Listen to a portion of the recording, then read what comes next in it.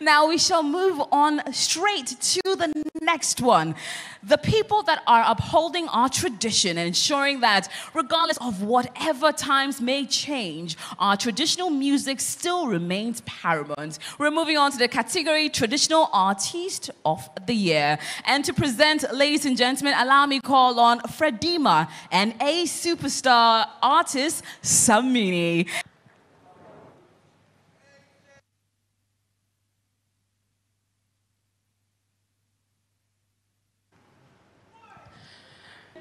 Please.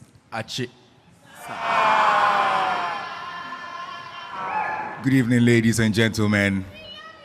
Um, we're going to do it quick, but before I say anything, this man right here next to me, Fredima, um, it's amazing I'm standing here with him today because the very first studio, even before I got signed to Ashanti International, the very first studio that I did a vocal recording that I could hear myself in the headphones was in this man's studio.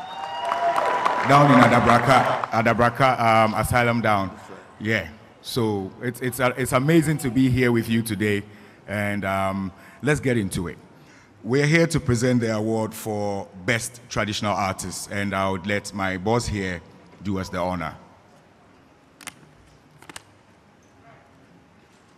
And the winner is Nii Tettey Tetteh of Kusum Ensemble.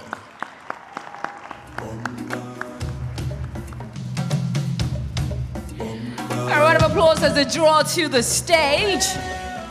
Winner of Traditional Artist of the Year.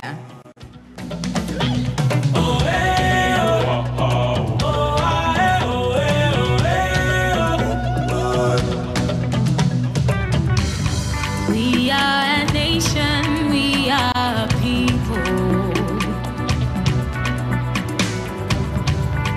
We are different, we make a sound.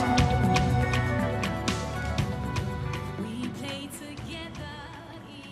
Thank you very much. I'm very, very happy today.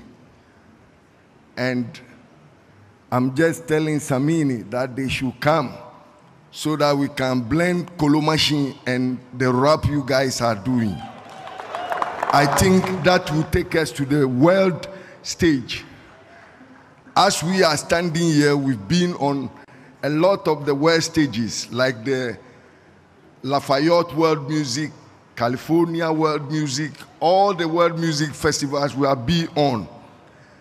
But today I'm taking this opportunity to invite the Shatta Wales, all the Stonebwoys to come. Let's blend the Kolomashi and stuff together so that we can take the Ghanaian music higher, like the Youssou N'Dours and the Youssou N'Dours and the uh, them them. Thank you very much.